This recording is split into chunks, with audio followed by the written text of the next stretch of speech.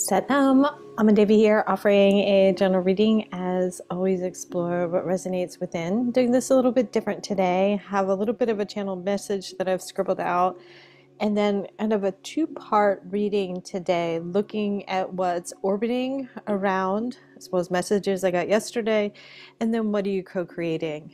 Um, with a general reading, it's important to know that parts might apply. It's more of a concept to consider not so much a co- concrete answer to what it is that you're growing through at this time. I like to speak to you about what comes through because on some level it just feels like if it doesn't come through it's like a clog to it. Like I gotta get it out. Like like for whatever reason I've been to share with you which is outside of my comfort zone. Um, and I you know, based on my experiences, it's like I want you to know you're not alone. There's a lot that happens in the ethers that happens in this place between like initially I just want to say right and wrong, but beyond what concepts we've grown to understand in the material because there's so much more happening, especially now it, it's just it's mind blowing, and I appreciate those of you who receive um, a personal reading from me or share your stories with me because it it it, it just validates or further confirm, confirms what it is that's happening. There's information is happening so much more quickly, and our thoughts are penetrating the minds of others, each other, and are being received from above on such a delicate it's it's delicate the way in which our thoughts are actually manifesting our reality. And i think we've gone far too long ignoring the fact that if we just keep thinking and talking to ourselves all as well. No, we need to turn that volume down and allow the divine to work through us. So, how is the divine working through you right now? How is the divine working through you right now? What are you receiving on multiple levels? I'm going to start here. So, I do have something that just scribbled down. Like, I.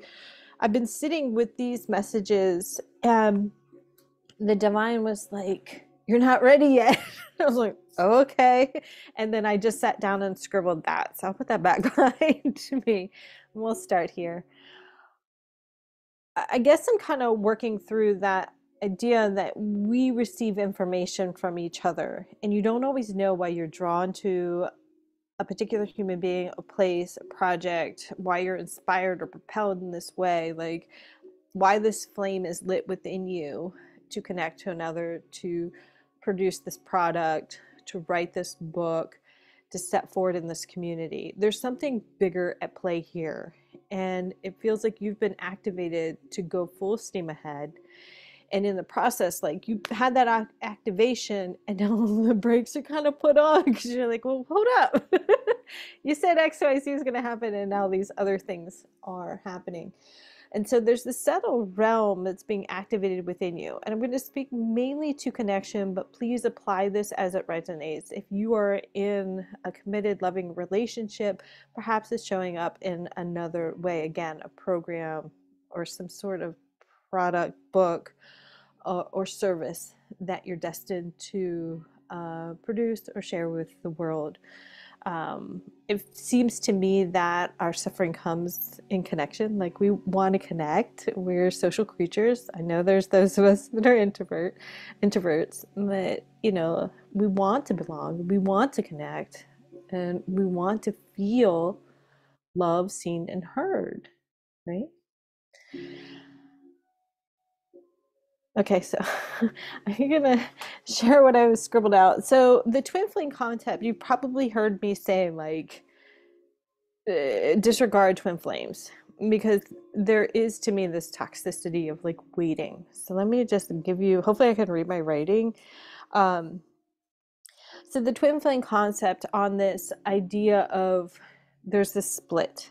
There's a split, seeking another half right? That we're not content and whole as ourselves, that at the cellular level at birth, two split, and then we find each other in a lifetime. Okay? And you might know more about the history of twin flame. And, you know, again, you, you as I always try to say, is you don't have to agree with me. You don't have to agree with me when I think about twin flame, I like to remind you that we are no longer, so much for reading, we are no longer in this timeline in which we wait for communication. Right?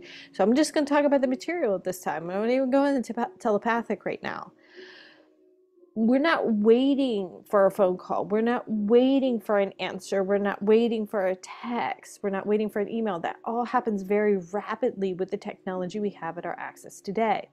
Consider the idea that the twin flame concept, and I'm pulling this one out of my ass, was brought forth in a time in which you needed to wait.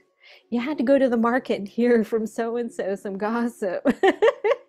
or you had to wait at home for someone on their horse to bring you a love letter, right? We're not there. All right. So we need to reevaluate the way in which we open ourselves up to information in the way in which we allow connections to unfold on the multiple levels in which they are magnified within and through you.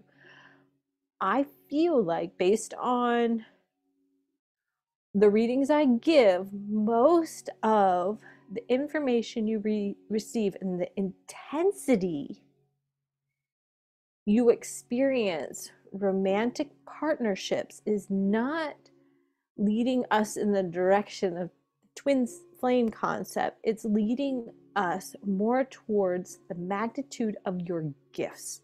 Like you are strong in your intuitive insights.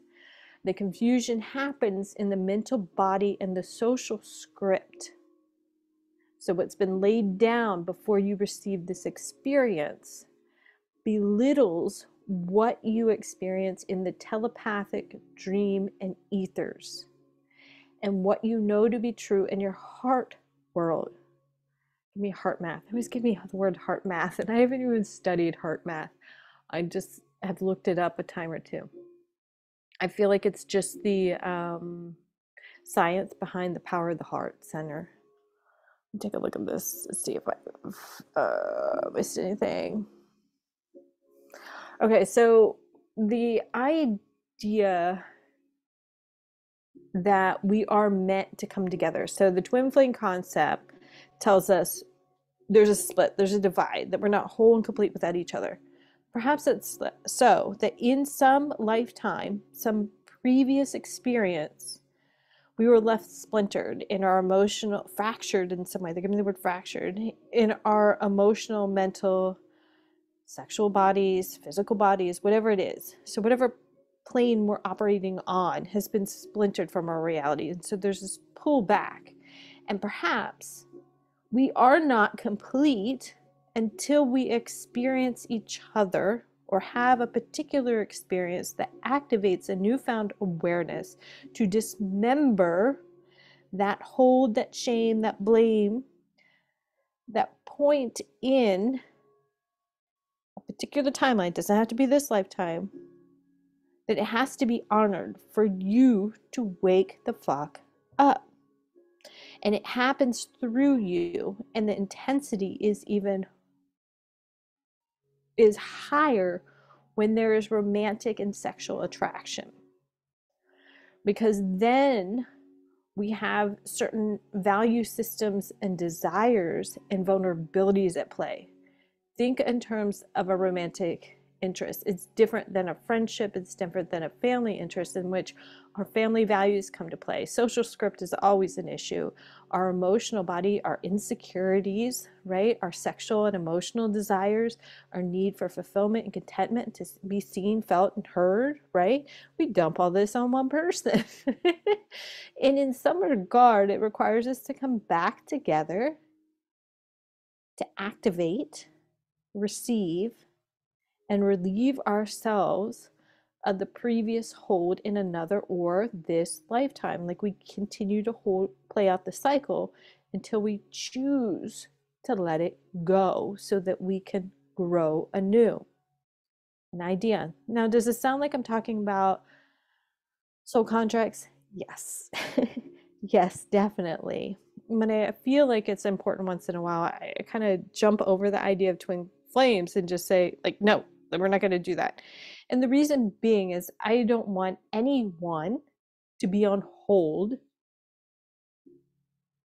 for romance, to be on hold or held captive based on illusion, based on one level of understanding. All those levels of understanding have to come together in order for you to come together physically or in a full commitment in this lifetime. On some level, the confusion exists in which, with your intuitive insight, you sense the emotions, you sense the desires. The divine gives you the heads up, the divine gives you the information. All of that could be counter to the way in which that human interacts with you in the material in this lifetime. And this is different than the facade. It's because you're capable of reading into the depths of that person. Part of that is your gifts, and part of that is the lineage to which you operated on multiple timelines before you incarnated in this lifetime.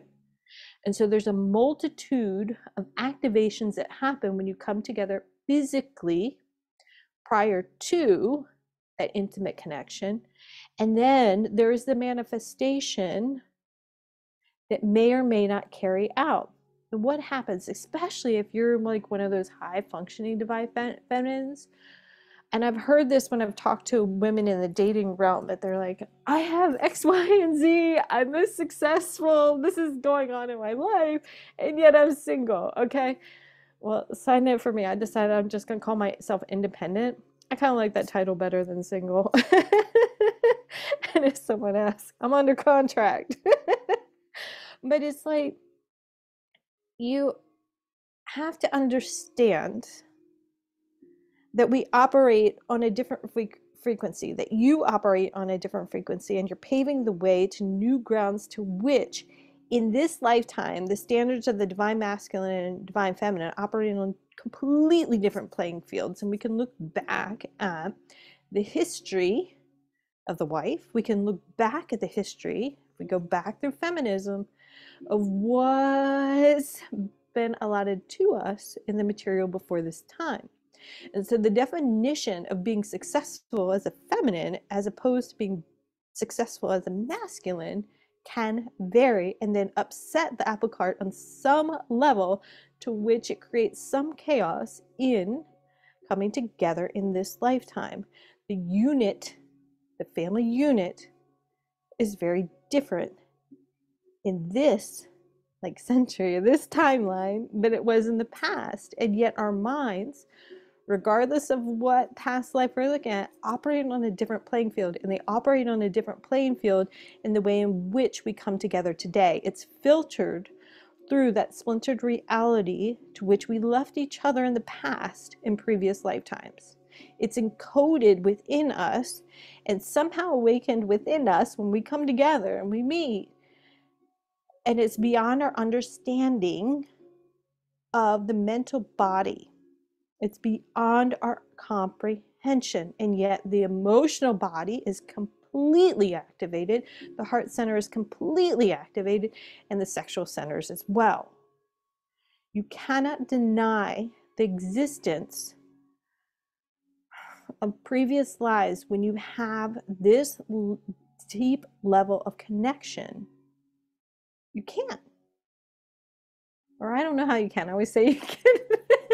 You can disagree with me and here i am honing this one down. I hope this right makes sense. Let's look at the the questions they gave me.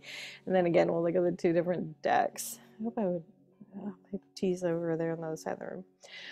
So i've found and i've talked to in, in general in personal readings that occasionally like it happens where someone orbits your field before they enter your reality. And so you're getting, and uh, to me, I feel like this is the divine introducing you in the energy bodies before they're introduced in the physical form. And it's taken new heights. Now, I'm to just table that thought. so I want to ask you, so when people come to me and they're like, is this my person? Is this my twin flame? Is this the one? Right? It's a very different answer when you have a soul mission. It's very different when you have this heightened reality in the ethers. Okay? You're not a dumbass. and I'm sorry if you don't get into it again. I don't mean to like think of like just mm. you're being called for more. So these con- connections mean more. It's relative to the individuals coming together in this lifetime. So, what information are you receiving in the dream world? And this is going to help you. They're, they're, preparing you in some way to meet. It's, they're giving you information. So, a lot can happen in the dream world. I don't want to go too far into it because it's going to be it's going to be like for this reading is going to be way too long. Um, but when it comes to connections, they're kind of introducing you. Their souls are preparing to meet. Your souls are communicating. You're delivering information to each other before you meet in the material. So the cellular body is being awoken to them. That's why it's unforgettable when you do meet eye to eye. Uh, it's important to note too how are you feeling when you wake up the emotional body is going to tell you something it's going to give you some regard of what that exchange in the ethers is presenting like what needs to be recovered, unearthed, and released. Uh, the emotional frequency that that you feel when you wake up is going to give you a lot of information. And then because of that intensity, so you're given information, you might be receiving telepathic information, right? You might be receiving that information in the dream world. So then you're just expecting, and you're just expecting this must be the one because it's so intense and it's so bizarre, right? Not exactly. Not exactly this is where the confusion of the twin flame or people call it a false flame whatever it's just not i don't know i don't want to even go on my thoughts on marriage. Uh, so consider when you do meet in the material so I hope these questions help you because people ask like is this the one or why is this intense? Who do i pick? Like hopefully these questions will help. Do you feel drained by this connection? Like do you feel depleted? Or is your strength that you draw from above being siphoned off to them okay and so in the twin flame a lot of times and with you as empaths and light workers and all your gifts you often attract a narcissist because they're like there's fuel for my fucking fire right? And so notice are they going to pull from you? Are you a power source for someone right? Do you feel depleted in any way following the connection. Regardless of whether you feel depleted or not, I do feel it's important to check in with yourself and ask for protection every once in a while. Just do that meditation where, regardless whether you're depleted or feel uplifted, to check in with yourself so do you understand what's happening within you and what you're picking up off of that other person. I'm really good at confusing the two. What is the context of this connection? This is extremely important. Okay especially when it comes to someone siphoning off you or feeling like you're blindsided. You're like, how did I get here? how did this happen? Right? When are you at your best? When did you meet this individual? Right? At what point in your reality did you come together in the material? How are you? How did you feel when you met? Like, were you at your best or were you not so well? Like, give yourself a break if you're feeling guilty over abuse or whether you know you followed this prompting so to speak and thought this was the one and went full speed ahead and it turns out to not be the best connection for you. So consider the context to which you met. This is going to give you a little bit more information right because let's say if your frequency was higher you're feeling better you weren't ill for example you probably wouldn't open your floodgates to this individual right you wouldn't pro- probably wouldn't fall trap to manipulation if you were at 100% or 110. Hear me? Some cases they want you to go through manipulation. They want you to go through these experiences because it's part of not only your soul contract, but your soul mission to help others and teach others how to work with that energy. On the positive side, how does this connection inspire your growth? What are you learning from this? What are you learning about yourself? It's very easy for you to tune into the other person, to see their insecurities, to see why they behave in that way, to justify their behavior. You're really good at that because you can see those deep layers. Turn that around and look inside yourself. What are you learning? How are you benefiting? How is your soul calling for growth? And what is the optimal step forward? Through this experience for your soul's growth, for the greater good of you both, or if there's more, if you're poly, whatever. Check in. How do you feel when you connect with that individual? When you sit in your own energy, how do you feel? I feel like I already talked to that to really, eh, and this is hard. I feel like it's really hard because sometimes we don't like that physical distance like we want that we want that call that we want that text we want to see each other right but you might need to pull back and check in with yourself and not have that communication especially if you're picking up on information from them from afar on a consistent level if your sleep's disrupted your emotions are disrupted your thought process is disrupted by the connection you have with that other person, you're gonna need to pull your energy back to check in with you and make sure you wash yourself clean energetically. Might need a cord cut. Notice after you have met someone, what has changed in your emotional, physical, and energy bodies since you met or prior to. Like, notice the progression, notice the shift, right? I've noticed this where it's like I felt like I had taken care of something, and then I meet somebody, and later on I'm like, oh, that's popping up again. Right. And it felt really random. It's not to say you don't have your own work to do. It's not to say that you don't cast all your emotional baggage on someone else. That's not what I'm saying. I'm saying based on your baseline of how you've been functioning, and all of a sudden you shift, is that you? Are you picking up on their energy? Patterns. Patterns are important here because you have to notice like what patterns are happening through the connection what patterns are happening through your partners through like your work here because it's people are like what's my soul purpose? What's my mission? It's not a one and done. It's not a clear cut just like your soulmate isn't a clear cut answer right? So look at the patterns of the way in which you learn to grow through connections. Look at the patterns that are persistent in your intimate connections. There possibly is a life purpose in the way that you connect with people on a d- deep, intimate level to help heal. And that healing is more of like grassroots healing and not so much on the clinical level, but it's happening through you, through your physical form, through your emotional body and the experience to which you have. It's important that you maintain your boundaries and follow through on your mission. That is important first and foremost because we become tethered to that person, right? You become tethered in that connection that has such a deep dive.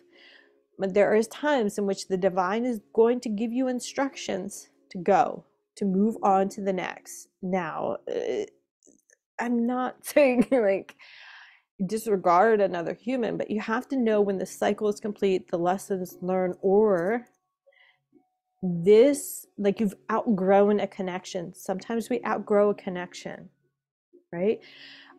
Whether you're talking about telepathic communication whether you're talking about a connection think about your garden right? Or think about gardening and i don't know anything about gardening. That way in which thoughts infiltrate our emotional um, manipulation infiltrates. It's like you have to continue to weed your garden right? That's your work that's your due diligence right? And occasionally something has to be transplanted. Think about you as moving on to the next mission or moving beyond the connection that felt so intense at some point. It's like you being transplanted. It's time. Your work is done there. Know when your work is done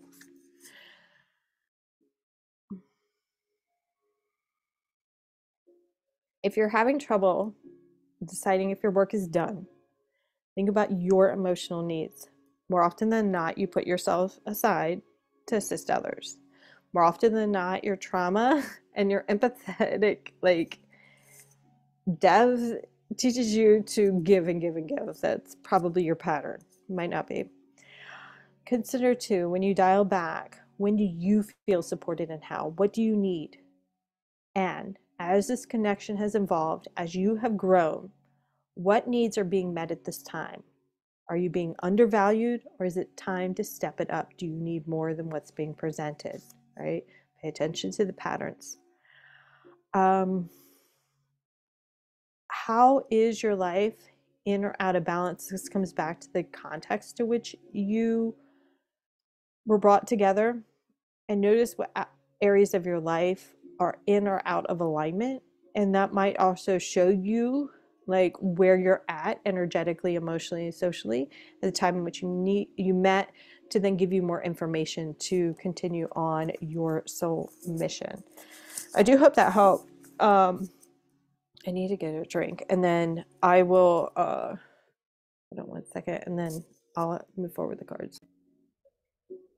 Thanks for your patience. So orbiting and back to this idea of feeling someone before you meet someone or that lingering presence of someone. And sometimes it's it's someone from the past and we usually talk about people from the past only in mercury retrograde but really it's like mentally answering the call or allowing that call to continue. One of the decks i do have out is, simply uh, planets. So you might take a planet and go ahead and look it up or look at where it is in your your birth chart or where it is and if you do birth charting um, for the connections you're in you might look at where those that particular planet is within both of your charts. Um, i did do a general reading um, a while back and I don't remember, but I remember the title of what's orbiting in your field because again, you like sense it before it happens, but it doesn't mean that it's going to be like the end result. and I think that's where we kind of get like a hiccup. You're like, um, or maybe that's just me. Um, you're like, oh, I'm feeling it on this other worldly level. This must be the one. Not exactly. Not exactly. Let's see what the cards had to say. And regardless of what you're feeling and sensing, we all have free will why I have another set of cards out for uh, creating.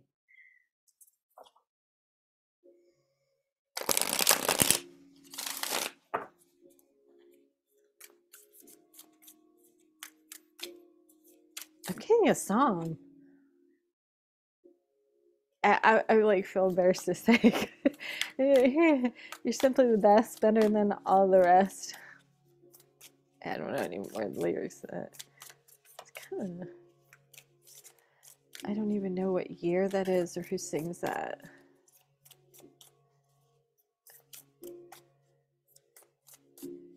Just as powerful it is for you, it's powerful for the other person. It's just two different languages are spoken to either validate or um, conceptualize it, conceptualize the connection.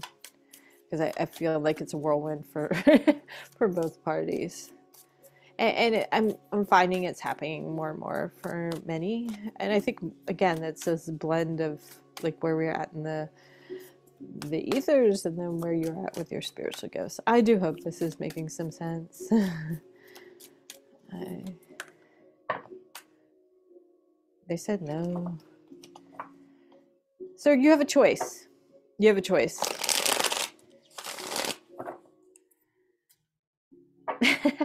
There was um I think a telepathic communication like that um like an like an octopus that you like kind of reach out, feel, reach out and feel. And if you've read The Soul of an Octopus, it's, it's quite intense in the way uh, which they experience their reality through tactile, you know, tactile experience happens on this other level. That's they feel to receive. You are receiving through the feeling bodies whether you're touching someone or not. When it's up to you to allow your tentacles to continue to reach out or pull them back in based on the information you receive. And so it might take some time, which makes sense because it took time usually when I have like a prompting for a reading, I get a lot of information very quick. This like happened in segments slowly. Because it requires some processing on your part and a new perspective to override the patterns. Okay, we're. We're going there. Hangman. Speaking of pers- perspectives, so a new perspective on the board. Yeah, spinning it around. Um, and understanding what needs to be cleaned up in the emotional body, bodies, and the tower. Change. Like your status quo being disrupted in some way, or what you know to be true, you know, like this earth shaking experience in some way. Um, just because it's earth shaking doesn't always mean it's manipulate manipulation. I have trouble with that. um, because they're both kind of, or everyone's kind of working on this like on in our uncharted territories, but yet also to alleviate the intensity might the way in which we alleviate the intensity of the connection might backfire. That's where that idea of like the push and pull energy is, and that withdraw and retreat that is so commonly spoke to in the twin flame journey comes up.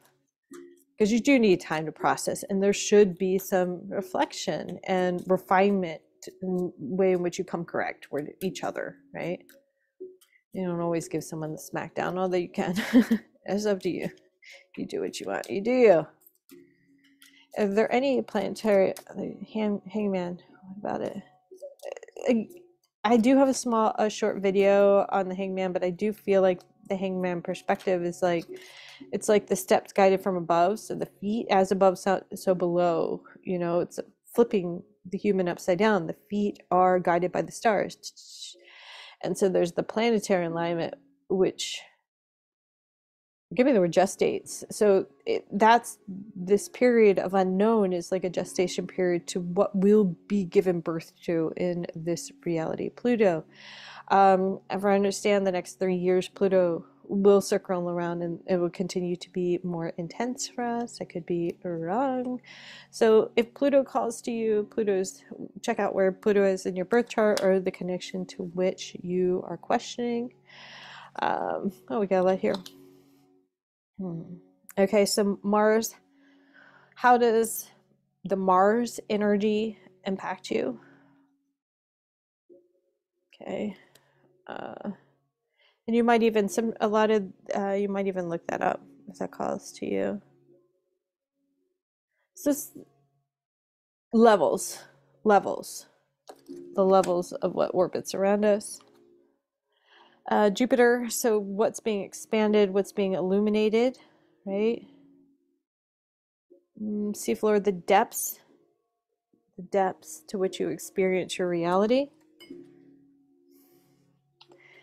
And what's being awakened, uh, there's far more happening in other timelines. This is, give me the word capsule. Um, it's almost like your love letter is a capsule, a time capsule. That's what I want to say. Um, oh, so I was like, wow, is that my light smoking? no, it's the, it's the diffuser. I got nervous there for a second. Um, Crab Nebula, that calls out. Excuse me and this has more of a cellular look, whereas some of the other nebulas kind of look like um, an hourglass, right?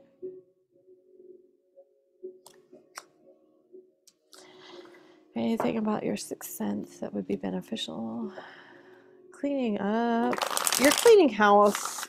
It, it, some of us have to do the work to clean house, but you can't enable the other. but you're being called to level up. We both are actually in the connection you're considering. You're justified in moving forward, wholehearted, uh, justified. I was saying. Justified moving forward. Artesian, um, skilled craft worker makes or creates material objects partly or entirely by hand. Um, You are part of God's creation, and the connections to which you feed or dismember are part of your creation this lifetime.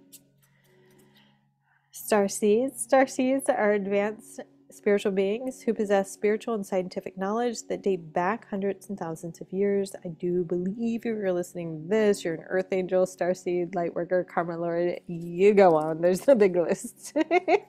There's a big list, but you're you're definitely a cut above the rest. Oh, but that's where the song comes in.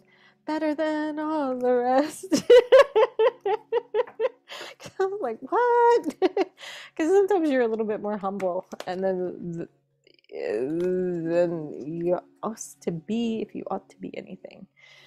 There's a someone told me once that if someone tells you should, they're um, it's a, like a red flag. Um, okay, so red flags coming up. Don't ignore the red flags, even though there's this deep soul level connection. Sometimes uh, your absence is just what's needed to co-create a new reality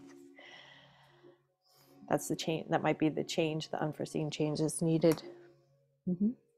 Art, Artesia, I, I, like that there's a rope here when we're talking about basically we're talking about cord cutting or cord connections in the ethers. Mm-hmm. So, what are you creating? What are you creating? What do you want to co create? Um, want to co-create shame and blame, joy and blessings. Like it's really up to you and how you move through. And that's why you have to look at the patterns within yourself, within the other person, and the way in which your connections play out and the way in which the current connection is playing out. Okay, so don't give someone a pass just because you feel empathy. What will you create for yourself? What will you create for yourself? What will you create for yourself? And thank you for this deck. This deck was a gift. And it was interesting. It was sent to me after I eyed it on TV, not on TV, on I eyed it on um, uh, Amazon. I was like, I had like had it in my card or something like that. I don't know why I said I did on TV. Oh, uh, housemate's home. So if you hear the TV, um, I do apologize. Sorry, I have some music in the background. All right, one more time. I'm to shuffle that. What are you co creating? Not based on distraction or disillusionment, but based on the higher good. What are you creating? Are you creating for your comfort zone? Are you creating for someone else's comfort zone? I've been guilty of that.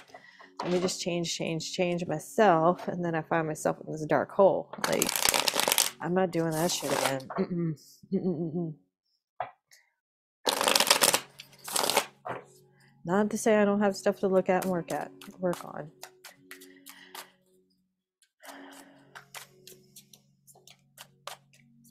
And so you have to look at your boundaries. Or what's been shown to me is the idea of personal policy. What's your personal policy? And we do amend and adjust our policy, right? Uh, based on the greater good or based on the information we receive or how things change. What are you co creating for yourself for the greater good? Ten of Pentacles, Queen of Pentacles. It's up to you. The Queen of Pentacles is capable of creating. So in the material, it's really up to you uh, what you put your energy to, but you're stepping closer and closer to home grounds, uh, stepping closer and closer to you as a solid being on this planet, bottom deck. There is confusion. There is confusion. I get it. I get it. That's why I'm here chatting with you. of what's being delivered to you because a lot of your assignments, a lot of your connections, a lot of what's received, a lot of what's orbiting is counter to what you assume it should be, it ought to be. And you get to create your reality based on that, what you receive. And it's very easy when you're receiving information in the astral about a particular connection to really get drug into that through the emotional body to get pulled by their emotional experience as and you assume it to be your own. Really got to check in on what you want to give value meaning to in the material plane and continue to do your work in the emotional body to understand what's your emotional entanglement to heal and grow from and what you're picking up from empathetically for another or telepathically however you want to define it There is a road to recovery through your experience. And again, some of it is about cutting the cords and moving on. If you think about um, connections, like what what energy can you live with for the long term? Sometimes those heavy hits, those nine of wands energies, they hit quick, but they they burn out quick. That like the energy of that connection burns out quick. And possibly, I know I've had that too, where it's like you feel all this in the emotional, the dream world, and you even get physical sensation. Then next thing you know, you're like feeling it again. You're like, oh man, what's going on? It's all this confusion, but that's part of the work you're brought here to do. And so, based on the, the intuitive input, the emotional input, the energetic input you give, how can you send a direct order to transmute the energies and heal the connection? You're brought in to heal the connections. You're brought here to heal the pattern. It happens a little bit slower than we'd like because it takes time to learn it. But what is your wish fulfillment? Girl with the pearl earring. I do have a video on girl with the pearl earring, actually.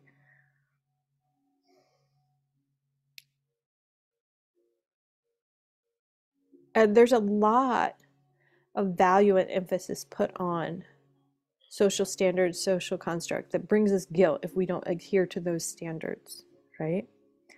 You've got to look at what you want. The divine is going to give you the capital A, not society. And a capital A, I'm sorry if like your scarlet letter, like you read that, but it, that's not what I mean. I mean, like, the divine loves you regardless. And you're brought here to work in the trenches. You're brought here to work heart to heart. It's going to take time to understand the energetic and emotional codes which you are learning to embody. You're helping people to break free of their imprisonment. I love that. You're helping people break free of their imprisonment. But it comes through you learning to work through the confusion of your own and recognize your own value. Consistency is key. Uh, 32, 5, practice tenderness. Tenderness to yourself, tenderness to others part of the empathy is just understanding regardless of what move you make is understanding where it comes from not enabling based on where it comes from but sending love as you cut that cord sending love as you close out that chapter as you close the door unleash your passion okay well that's a completely turn that's a turnabout it's a one passion queen of okay so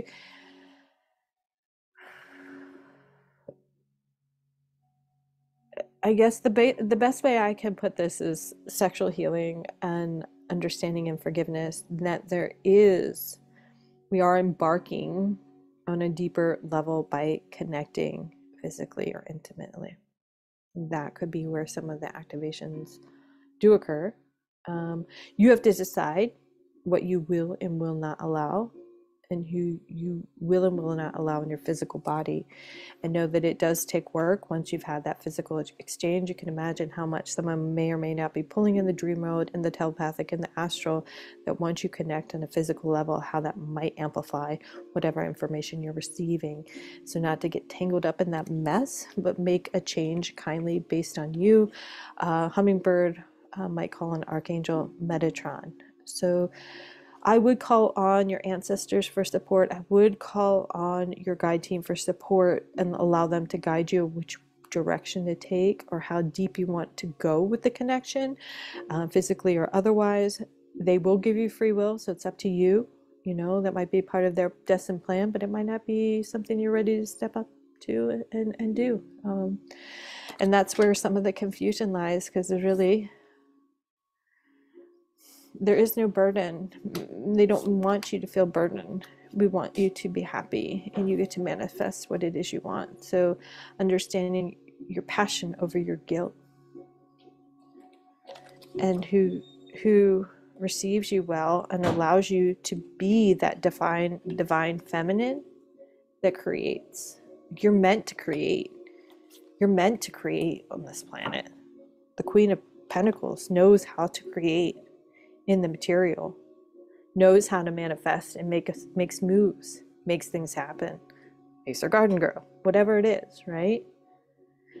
Based on the planetary alignments, what's coming through for you is your ability to transmute the patterns of the past and the divine masculine and feminine state of being. Your archangels are asking you, they're asking you to call them in to elevate the frequency for the divine feminine rising to create new foundation to which the masculine and feminine operates from. Your passions sometimes can get confused in the ethers by the desires of others. It is your choice.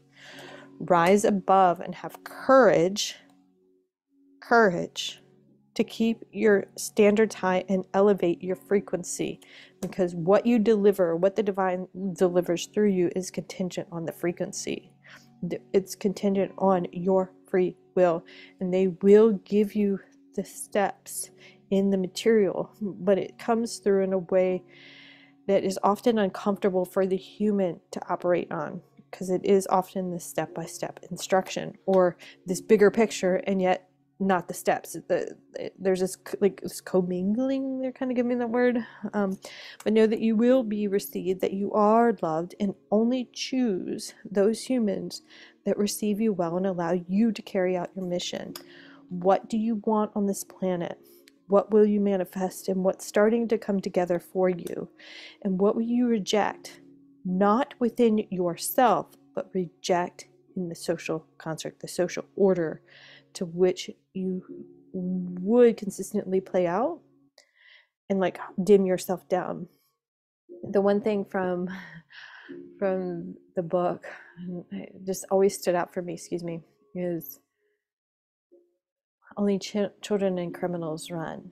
So the inner child wanting to run or someone who has done wrong or feels they've done wrong runs. What happens when you stand your ground and manifest anew and as you manifest anew, what shows up for you, for the divine to work through you, to carry it out and grow.